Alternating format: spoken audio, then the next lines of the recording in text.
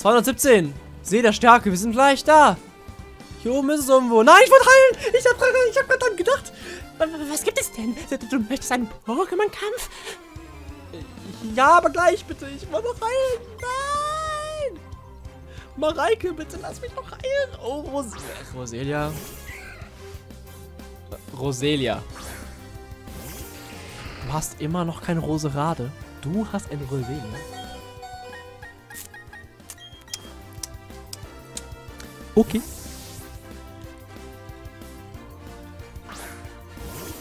Muss ich nicht verstehen, glaube ich. Ich glaube, ich muss es nicht verstehen. Ich bin mir aber nicht ganz sicher, aber ich glaube, ich muss es nicht verstehen. Sehr komisch. Ja, aber was wird dein zweites Pokémon sein? Was wird es sein? Was wird es sein? Natürlich hat er jetzt Egelsamen gemacht.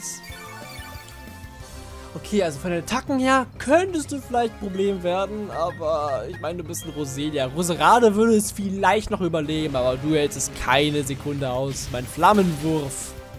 Nee, das, das hätte mich gewundert, wenn du das überlebt hätte. Also wirklich.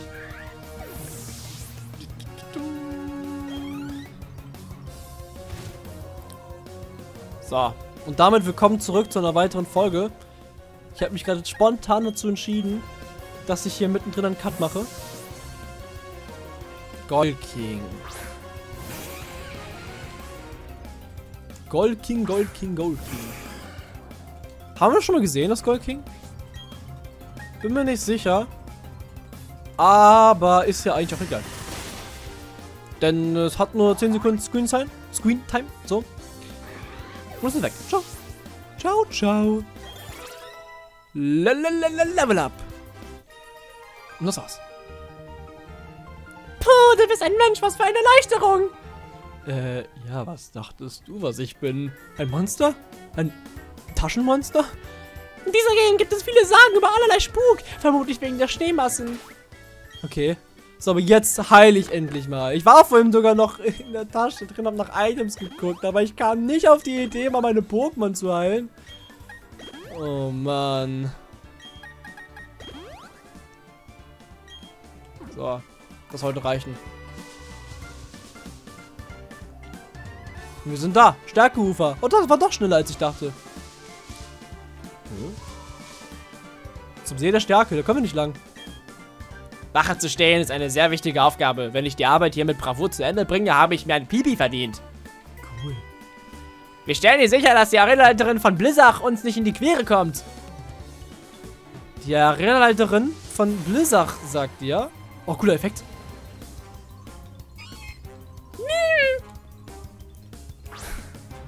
Alles klar. Dann sollten wir mal mit der Arenaleiterin sprechen.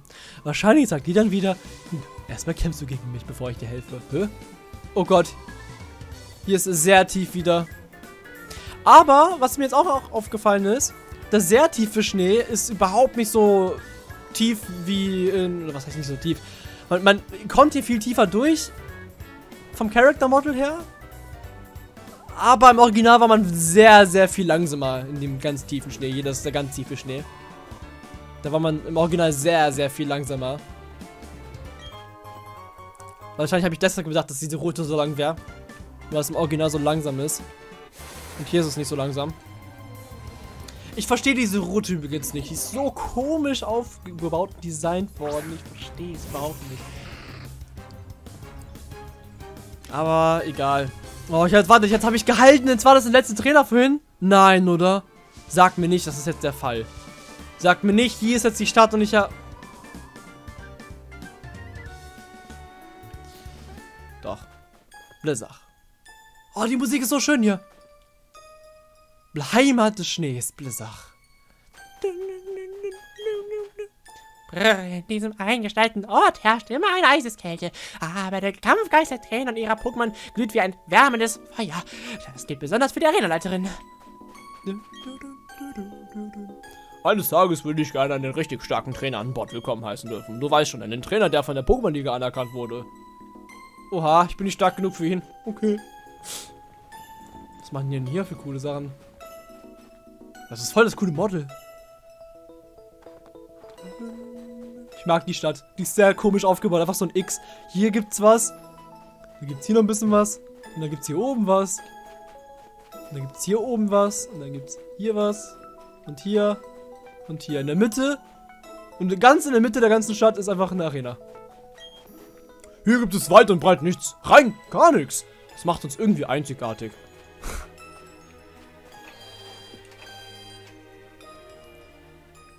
Einer meiner Lieblingsstädte, finde ich. Ich meine, ich, ich finde, es hat was. Ich mag zwar nicht, wie es so alles so eng ist, weil es so, so Zacken überall sind durch jede Gegend, aber trotzdem, ich mag einfach die Musik und die Atmosphäre. Vor allem hier jetzt im Remake. Wusstest du, dass es in der Gegend von Blizzard viele Eis-Pokémon gibt? Hm, ob die wohl auch im Tempel leben? Nein, was? Es gibt hier Eis-Pokémon im Schneegebiet? Sag bloß. Ingon! Äh, hi, Anton. Der Schnee verschluckt alle Geräusche, deshalb ist es so ruhig hier. Echt? Wir werden das wahrscheinlich gleich kämpfen müssen, deshalb tue ich schon mal Tricky nach vorne. Äh, nach vorne. Der wird alle einheizen.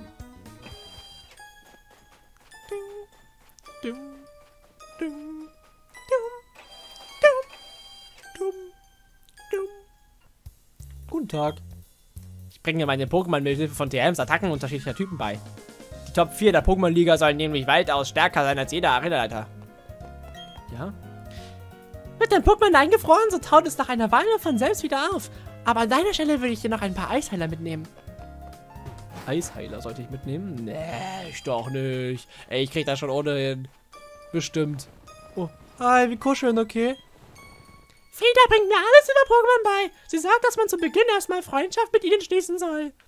Wir können auch ein bisschen Freundschaft schließen, ne? so Kreis. Gehst du einfach zum Blizzard-Tempel? Du weißt schon, dass du da nicht rein darfst. Was? Blizzard-Tempel? Da darf ich nicht rein? Wer sagt das? Moment, ist dieses Haus nicht eigentlich unten links und das Pokémon Center hier oben links? Oder habe ich das verwechselt? Ich dachte eigentlich, das wäre so.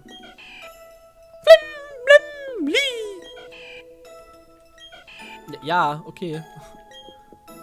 Du hast nicht zufällig ein Militaris, oder? Wenn doch, würdest du es dann vielleicht gegen mein Apollo tauschen? Leider habe ich keins, aber da kann man wohl nichts machen. Schau einfach wieder vorbei, wenn du es dir anders überlegt hast, ja? Äh, Ich spoiler mal ein bisschen.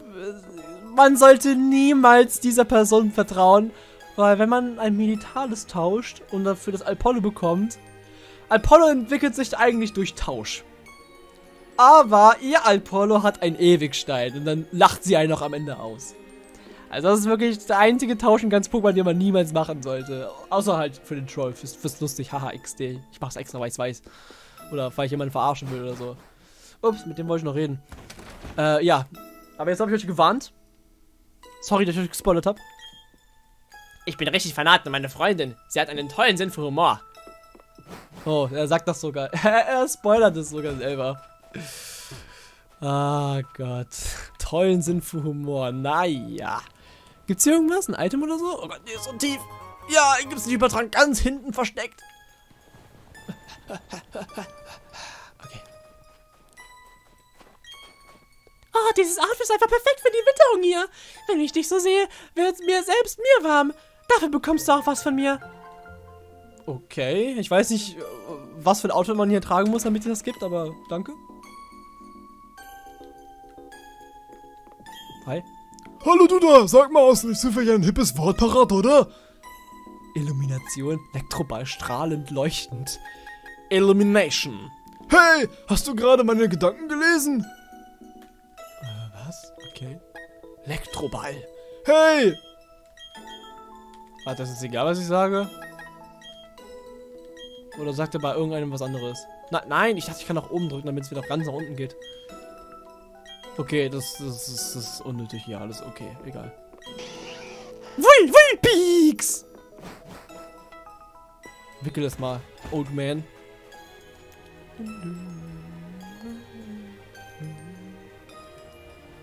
Hallo? Darf ich da rein?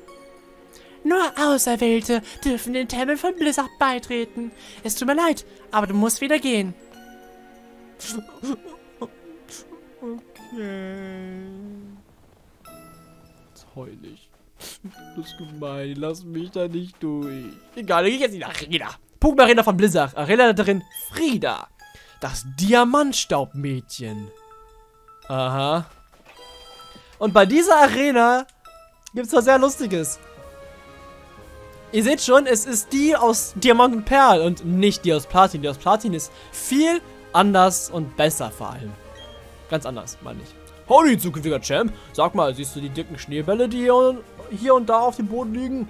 Du musst mit Karacho über das Eis klettern, um sie aus dem Weg zu räumen. Die Arenaleiterin setzt übrigens Eis-Pokémon ein. Ihre Angriffe bringst du am besten mit heißen Feuerattacken zum Schmelzen. Und denk immer daran, in dieser Arena kommt es auf die Konzentration an, also konzentrier dich. Aha.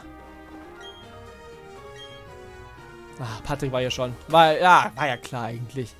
So, ich möchte euch mal einen kleinen äh, Glitch zeigen hier in dieser Arena. Deshalb speichere ich gerade ab. Ähm, wir gehen mal hier durch. Und vermisst. Wir kommen gerade so nicht durch. Oh, ups. Wenn ich doch nur schräg gehen könnte und auf die Leiter kommen könnte von ihr. Wenn man immer wieder das hier macht, was ich gerade mache, kommt man irgendwann auf die Leiter rauf. Das habe ich so wieder falsch gemacht. Man darf halt nicht zu weit nach rechts drehen oder nach links drehen, weil sonst, äh, ja, gehst du nämlich geradeaus in die Richtung. Ich blende es einfach mal ein. Ich krieg's gerade selber nicht hin, aber man kann da schräg hoch. Ich weiß nicht, ob sie es gepatcht haben oder so, aber das ging auf jeden Fall. Und das ist komplett dumm, weil in äh, Platin gab es eine ganz andere Map und da hätte es nicht funktioniert, weil man kann hier einfach schräg gehen. Warum machen wir das nicht aus, dass man auf dieser Arena nicht schräg gehen kann? Das ist so dumm. Aber egal. Jetzt machen wir die Arena richtig. Und zwar müssen wir diese ganzen Schneebälle hier wegschaffen. Und wie machen wir das am besten? So. Kleine Warnung übrigens, man kann hier in der Mitte gesoftlockt werden. Ich weiß nicht mehr ganz genau, wie das geht, aber am besten hier speichern, wo ich gerade bin. Niemals da unten, falls ihr da unten landen könnt, speichern. Ich, da gibt es nämlich irgendwo einen Softlock, also passt bitte auf. So, ich möchte aber trotzdem gegen jemanden kämpfen. Auch wenn man es nicht braucht. Es ist, so kalt. Ich kann meine Zunge kaum noch führen. Ja, ihr seht schon, ich habe mich richtig angezogen für die Arena. Sonst wäre ich eingefroren wie der Typ hier. Der Lach. Ja, der lach ich aus. Boah, ja, wenn du so Wasser-Pokémon hast, also ich weiß nicht. Aber Tricky wird alles hier alleine hinkriegen können. Einfach alle einheizen und das war... Na gut, jetzt Spoiling geht jetzt nicht, aber... Ich hoffe, ich muss nicht switchen. Ach, ich muss... Oh, nee, muss nicht. Er kann, was? Er setzt keine Wasserattacke ein? Hä? Warum setzt er keine Wasserattacke ein? Kann er keine? Doch. Wasserdüse, aber nur... Hä? Warum hat er die nicht vorher eingesetzt? Er brennt sogar. Lol. Ja, das ist jetzt mein äh, für Hagel. Weil hier drin gibt es keinen Hagel. Hier drin gibt es nur Kälte, Kälte und noch mehr Kälte. Sneebel kann es uns beweisen. Das Typ Eis-Pokémon. Sie zwar nicht, sie zwar nicht, vielleicht nicht ganz wirklich aus wie ein äh, Eis-Pokémon, aber es ist es auf jeden Fall. Mein Deutsch ist auch auf jeden Fall äh, vorhanden, auch wenn man es, äh, auch wenn man denken könnte, es wäre nicht vorhanden. Alter, schon Level 49. Das Ergebnis ist kalt. Viel zu kalt. Der Arme. Ey, Bro, hol dir einen Kaffee oder so. Je weiter oben du losrutschst, desto mehr Geschwindigkeit erreichst du. Das hilft dir dabei, die großen kalten Schneebälle zu zerschlagen. Bam! Nee. Man kann die nur von oben, glaube ich, so schlagen oder so. Ich bin mir auch nicht ganz sicher, wie die Arena funktioniert. Ich habe die Arena nie wirklich gemacht. Ich bin immer Platin-Spieler gewesen. Ihr wisst das. Da kann man auch nicht hoch. Aber das Ziel ist es, den da, glaube ich, kaputt zu machen. Ähm, ja, jetzt bin ich so ein bisschen stuck, ne? Also ich mag die Arena überhaupt nicht. Vor allem nicht hier. Vor allem nicht hier. In Diamant und Perl. Die Feinde der Arena heizen dir ordentlich ein, was? Wenn du während des Kampfes keinen kühlen Kopf bewahrst, wirst du verloren. Bist du verloren.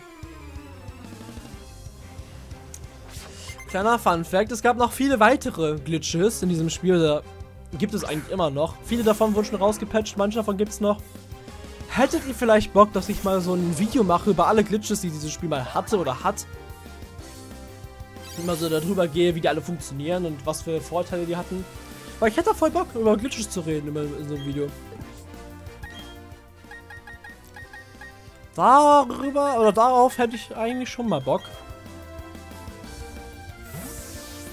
So, aber jetzt gerade ähm, muss ich überlegen, wie diese Arena funktioniert. Ich, ich habe die, ich habe komplett vergessen, was die Lösung ist. Ich habe die Arena noch kaum gemacht in meinem Leben. Ich habe immer die bessere Arena gemacht, den Platin. Die hatte auch sowas ähnliches wie hier, aber es war besser. Ich weiß auf jeden Fall, dass es besser war. Ich kann mir aber auch nicht genau hundertprozentig daran erinnern, wie es genau war. Aber es war besser. Ja. Ich weiß übrigens, dass es einen ähm, ROM-Hack gibt für Diamant und Perl Remake, also das, was wir gerade spielen, für strahlende Diamant und leuchtende Perle. Wo das ganze Spiel einfach so aufgebaut ist wie Platin. Das ist auch richtig cool. Ich würde es gerne spielen, aber naja, Switch-ROM-Hacks sind ein bisschen schwierig so. Und ich müsste meine Switch hacken und da äh, habe ich keinen Bock zu. das wird zu risky. Aber wenn irgendwann in 10 Jahren die Switch-Emulatoren richtig funktionieren, würde ich es auf jeden Fall mal ausprobieren. Darauf hätte ich voll Bock.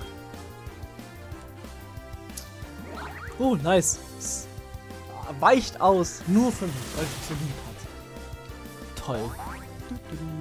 Ich habe irgendwie das Gefühl, die Starter haben einen viel höheren Liebeswert als alle anderen äh, Pokémon. Auch wenn die anderen auch schon hohen haben, aber irgendwie bei den Starter irgendwie viel, viel mehr gefühlt. Naja, wieder Tricky rein. Ich hoffe, wir schaffen noch heute die darin durch. Frieda, die wartet da oben. Und ich kann euch jetzt schon sagen, sie sieht überhaupt nicht aus, als hätte sie Eis-Pokémon.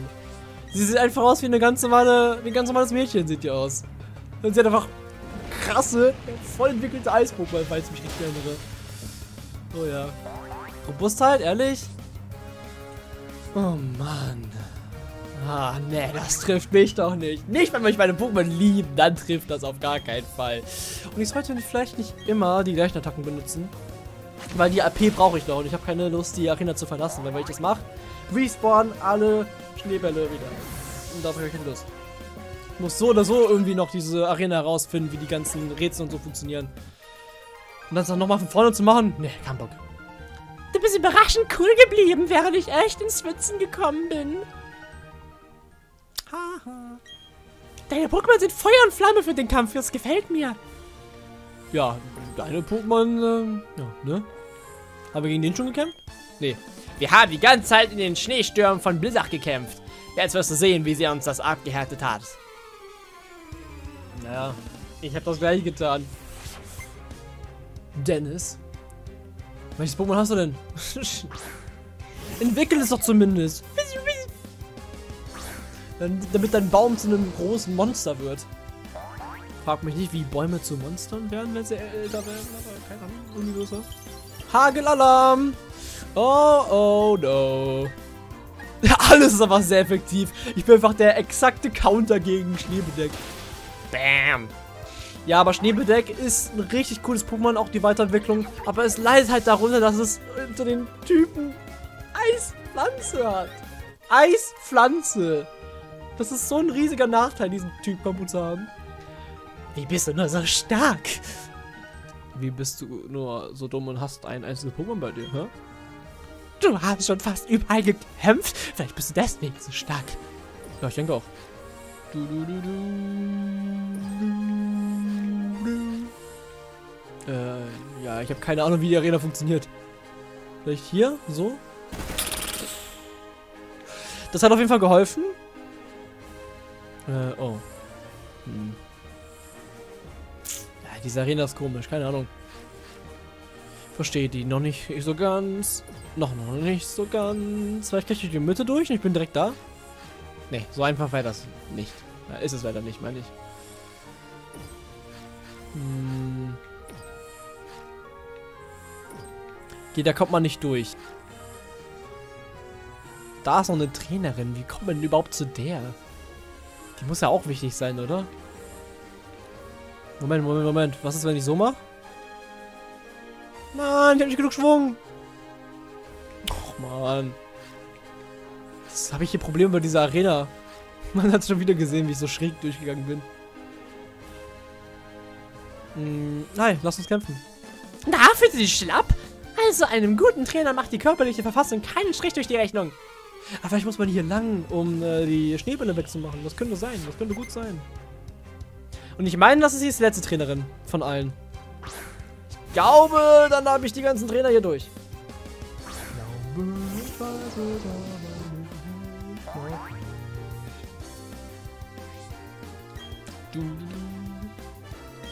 Fußkick. Ciao. Boing, boing. Ich weiß, das gab schon alles auf dem 3DS, aber irgendwie, weiß nicht. Ich finde trotzdem irgendwie ein bisschen lustig. Ein bisschen. Tentoxa. Oh, den hätte ich rauswischen sollen. Oh, warum drückst du den B? Warum drückst du den B? Tentoxa wird mich so sehr knuddeln mit seinen Tentakeln. Ja, gut, ja. Fußkick, bam, bist dich. Oh, oh. Säurepanzer.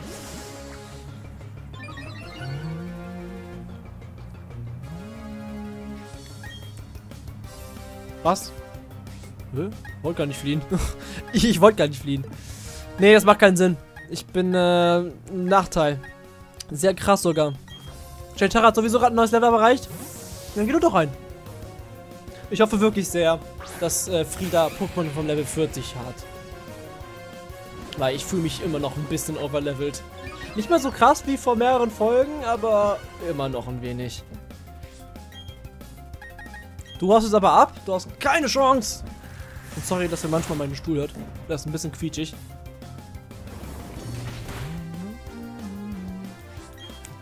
Kill ihn. Los. Warum mach ich so wenig Damage? Ach man, ja, Eisstrahl. Ach, come on. Ja, come on. Als ob ich wissen könnte, dass Tentoxa Eisstrahl kann. Warum kann es Eisstrahl? Hä? Wieso kann Tentoxa Eisstrahl? Was? Nee, ich setze noch einen Beleber ein, ganz ehrlich. Ich renne nicht nochmal nach draußen. Ich will nicht das Puzzle hier nochmal neu machen. Vor allem, weil ich es nicht so ganz verstehe. Ich meine, es wäre wahrscheinlich klüger und würde Ingame-Geld sparen, aber egal. Egal. Ich heile einfach mal mit meinem Beleber. Ich habe sowieso vorhin irgendwo in der Höhle einen gefunden. Also den benutze ich einfach. Genau, ein guter Trainer ist krass. Und keine Ahnung, hab's sorry. Wenn die Gefühle des Trainers mit den Gefühlen seiner Pokémon eins werden, verliert er niemals. Cool. So, verwende einen Beleber. Verwende Tränke. Einmal auf Tricky. Äh, äh, äh. Und auf Cheltara. Gute Sache.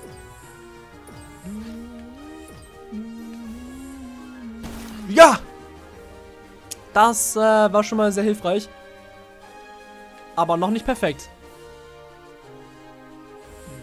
Nee. Habe ich auf der rechten Seite bestimmt noch irgendwas verpasst, oder? Hier? Ah. Habe ich hier was verpasst oder nicht?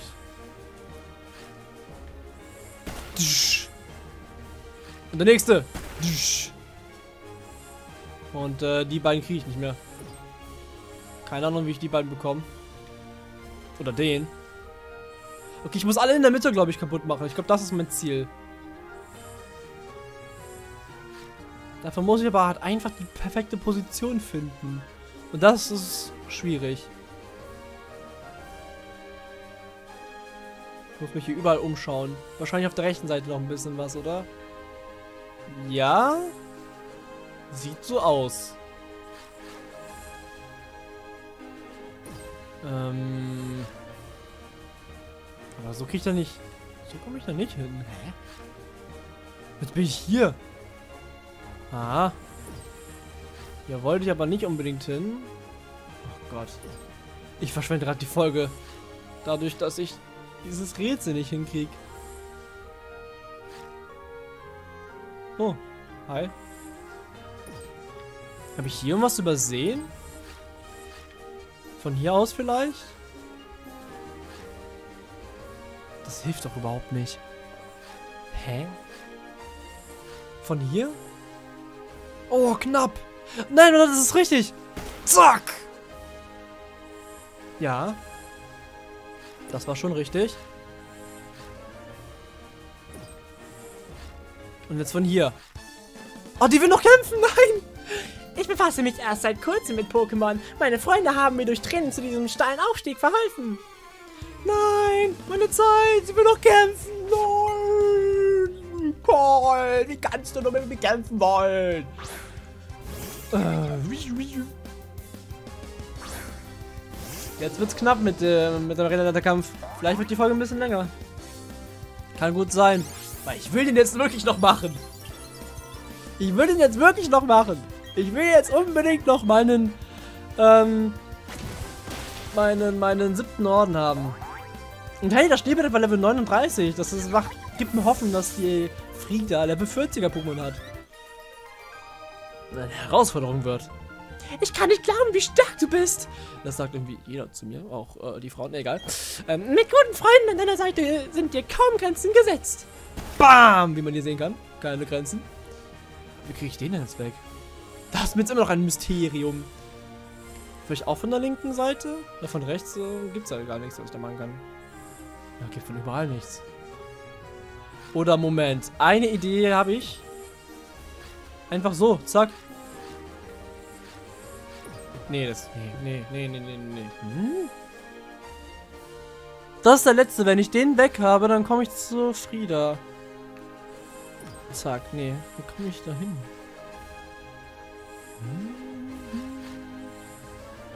Hm. Hilft das? Nee, dann bin ich hier. Nee.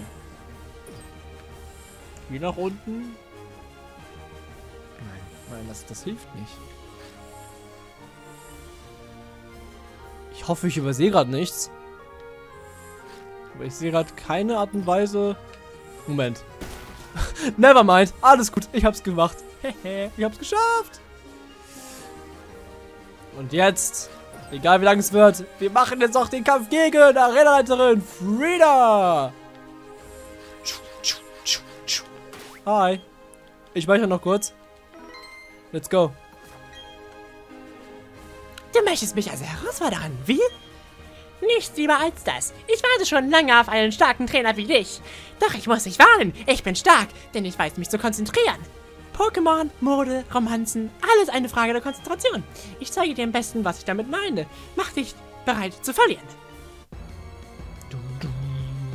Aber ganz ehrlich, die sieht doch aus wie ein ganz normales Mädchen. Sieht doch nicht aus wie eine Eistrainerin, oder? Aber hey, sie hat Mumm. Und ein Schneebedeck. Nicht mal entwickelt. Dieser Kampf wird einfacher, als äh, man glauben mag. Ich bin fertig mit dir, bevor ich überhaupt schneebedeckt aussprechen kann. So schnell wirst du platt gemacht. Bam! Das erste Pokémon schon mal weg. Und es war nur Level 38. Äh, und ein Trainer hier hat Level 39. Also das ist schlechter bisher. Nicht mal Level Up, also pff, schon traurig. Aber hey, es hagelt hier bei ihr. Warum auch immer. Wahrscheinlich damit der Kampf ein bisschen interessanter bleibt. Nicht mal ein Sneepuna. Ach, come on. Du machst es mir wirklich zu einfach. Was? Blaunwetzer? denkst du wirklich, du hast Zeit, um dich zu pushen? Du denkst wirklich, du überlebst diesen Angriff jetzt? Glaubst du das wirklich? Wenn du das wirklich glaubst... Was? Was war das für Beere? Okay, keine Ahnung, aber wenn du es wirklich glaubst, ist es wirklich dumm für dir. Rostbeere hat denen nichts gemacht. Nö. Na, na, nein, gar nichts. Body Slam, aber sowas von. Vor allem mit deinem Körper. Trifft das Ziel mit vollem Körpereinsatz und paralysiert es eventuell.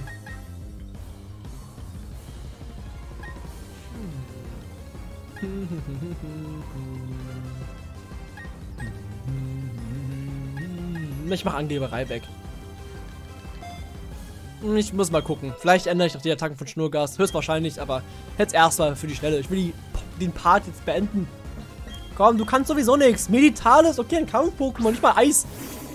Es ist nur Kampf. Aber egal, okay, dann hast du das halt. Äh, mir egal. Flammenwurf ist sowieso weg. Ciao. Ich brauche nicht mal meine Verwirrungsattacke, um dich klein zu kriegen. Oh, aber hey, Level 40. Immerhin.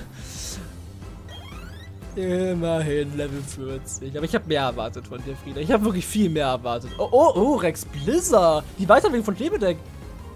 Ich werde das Eis brechen und mein Notfall-Pokémon einsetzen.